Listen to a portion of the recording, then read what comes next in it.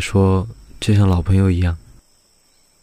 就算多年没有联系，总是还能从一些微小的举动中感动彼此。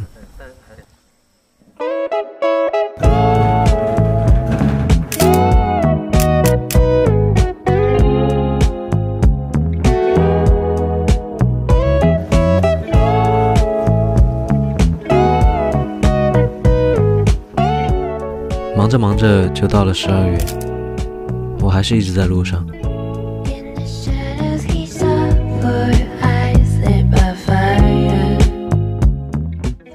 雪乡是北方的一个商业景点，旺季的时候人很多，但也有少见的人文景色。面对这样的场景，你要蹲下身子，仔细的去看大家的一举一动，可能是打闹玩雪的阿拉斯加，可能是雪落屋檐下的警察哥哥。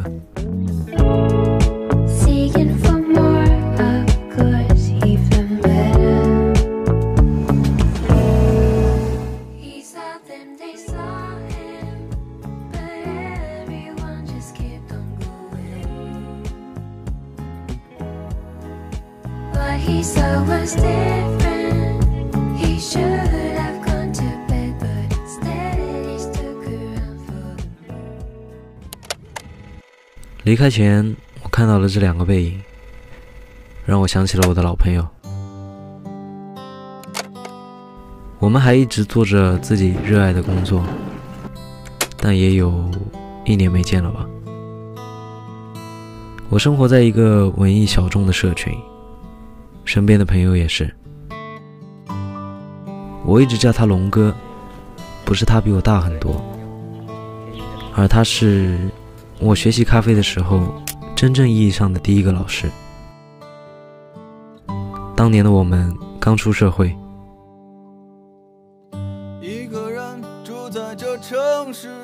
除了热爱咖啡，就是喜欢拍照，把每天的心情用照片去表达。六年过去了，他真的胖了不少，但我们还是在路上做了分别。他一如既往，随着喜好开了一家自己喜欢的咖啡店，看着自己喜欢的书，穿着自己喜欢的衣服。他从不在乎别人的看法，这么多年了，还是没变。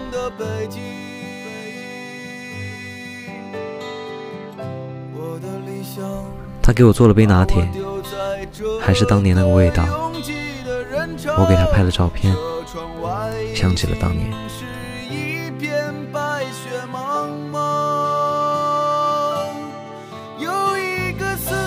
青涩时期的我们，每天都会发朋友圈，想方设法的去把一杯咖啡做得漂亮，拍得漂亮。现在我们褪去了那些华丽，留下了最简单，但却是最好喝的味道。这是龙哥最爱的一首歌。那时候我们每天下班就是喝啤酒、聊人生、听民谣，